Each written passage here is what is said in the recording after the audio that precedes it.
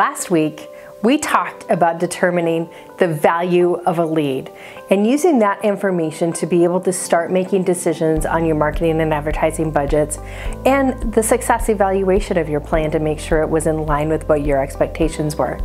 So today we want to take that one more step and talk about the lifetime value of your clients and how you determine that and the impact that information gives you when you're planning your marketing strategy.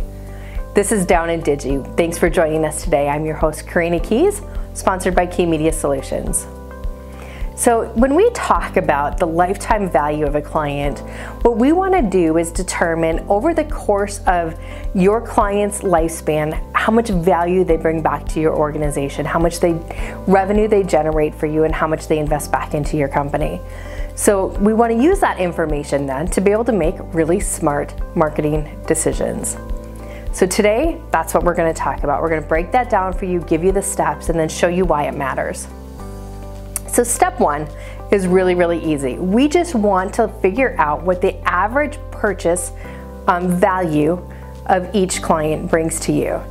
And so you select a period of time, let's say, let's look at last year, although we know 2020 was a little bit off, so you might wanna go back to 2019 and take the total number of purchases that happened within your organization, the total number of transactions, and your total revenue generated from those transactions, and you do a simple equation. You take your revenue divided by your purchases, and that's going to give you your average purchase value. So, for example, if you have one purchase is $3.50, one is $5, and one is $6.50, your average purchase is going to be $5. So that's super simple math. Second, we want to determine your purchase frequency. So look at the number of clients that you have and the total number of transactions you had over that same period of time. So if we're looking again at a year, a calendar year, whether it's 2020 you want to look at or 2019, you want to take that total number of transactions and divide it by the number of clients that consisted of those transactions that made those transactions. And that's going to give you your average number of transactions per client. Again, seems really simple, right? We got this.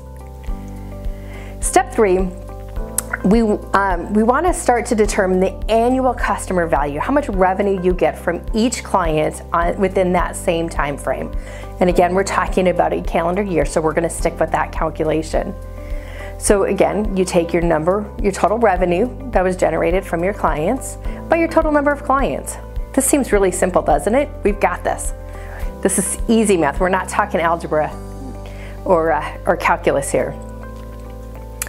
Fourth, we want to be able to identify the lifespan of your clients. This one gets a little bit more difficult because it's not an easy calculation that you can pull off of your financial statements.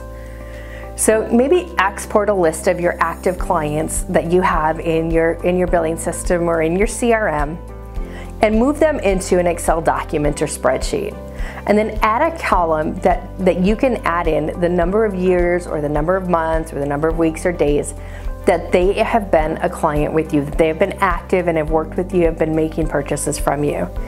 And this is going to be dramatically different based on your industry and the products that you offer. There's going to be some businesses out there that have clients that, that span several years or, or even 40, 50 years. And there's going to be other of you that really have a short lifespan of your client, but it's really critical to be able to identify what the average lifespan is of your client. Now, if you want a more accurate number, an easy way to do it is lop off the kind of the the extremes on both ends. Take off the top kind of outliers and the bottom outliers and then average those that remain in the middle. And it might give you a better idea of the average lifespan of your client and how much time that they've been or the longevity that client has with you. Now finally, the last step, step five, is we want to calculate the total value of that client over their lifespan. So we take that annual average that we came up with previously of the value that they that they invest with your organization and we take it times that average time of longevity. So if an average client with you spends $100 and the average longevity with you is 3 years, the lifetime value of that client is going to be $300. I'm really simplifying this. For most of you, that is going to be a significantly higher number, but I just want to make this easy so that we can all follow along. So now that we know that piece of information, why does it matter? What now what do I do with it, right? That's a, that's the next question is okay, now how do I apply this? And for me, that information is like a gold nugget because it really is going to help me identify how much I should be investing in my sales and marketing efforts. What average value should I be putting on a cost per lead or a cost per acquisition? And when I give that information to the agency or to my marketing team, it gives them a benchmark and an actual measurable goal that they can strive towards, that they can build marketing plans around, and that they can work to achieve. And you now, as the business owner, have an opportunity to hold them accountable to being able to reach those benchmarks. So, what if that average lifetime value isn't what you want it to be or what you thought it was going to be? This also gives you an opportunity to make a change. Talk to your marketing team, talk to your ad agency, and look at what do you want that number to be? What do you want to grow to? And how can you change your client perspective? How do you change your messaging?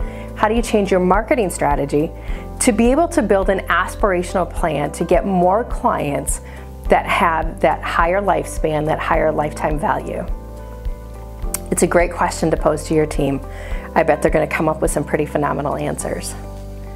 And also note that this number, this lifetime value number, is really going to be dramatically different for every one of these businesses, every person that's watching this video because we know that, you know, we've had one client that we worked with that their average lifetime value of a client was in upwards of a half a million dollars.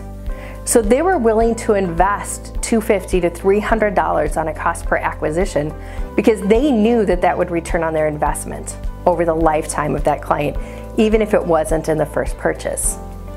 We've worked with other clients where the lifetime value was $160. And so they also knew that they couldn't invest any more than $15 on a cost per acquisition or they wouldn't get the return on investment they needed to be successful. So this is Down and Digi. Thanks for joining us today and I hope you know more now than you did five minutes ago. Until next week, cheers.